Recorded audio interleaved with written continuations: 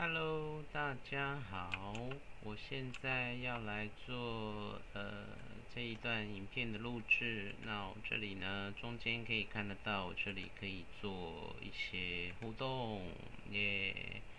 所以在这个脸部截取，透过视讯摄影机的方式，那我们可以把呃自己的表情跟这个虚拟人偶呢，那可以做同步的互动。那眨眼睛，做表情，挑单眉，甚至也可以做得到。那这个是属于这个视讯的一个录制的方式。那另外呢，还有关于你会看到，呃，左边这里会有好几个小视窗。那这些小视窗呢，在左下角这里，我可以设定。呃，四个摄影机的镜头，所以我可以在这里做摄影机镜头上的切换。那在切换的话，我就可以看得到视角。所以大家可以看得到，我们在画面里面呢，呃，可以看得到就是这个虚拟角色哦。然后透过右边的这个右上方的这个动作捕捉的这个。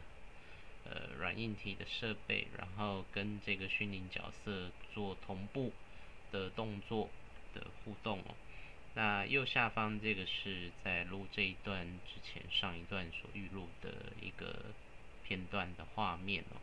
所以在这里呢，我们可以看到，我们其实现在在做虚拟角色的这个互动上面，那甚至在录制影片上，那只要透过 OBS，我们就可以把这些。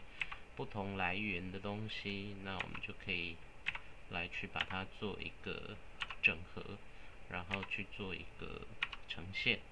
好，那我们现在呃看到就是右下方这里预录的一样，也是做了一个摄影机视角的一个切换。那在整个的播送的过程，在录制的过程，那你可以呃。呃，换不同的场景，甚至可以放不同的内容在里面。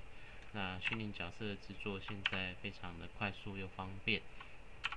那我们很快就可以透过相关的软硬体来呈现哦这样子的一个呃拍摄和录制的内容。好，以上。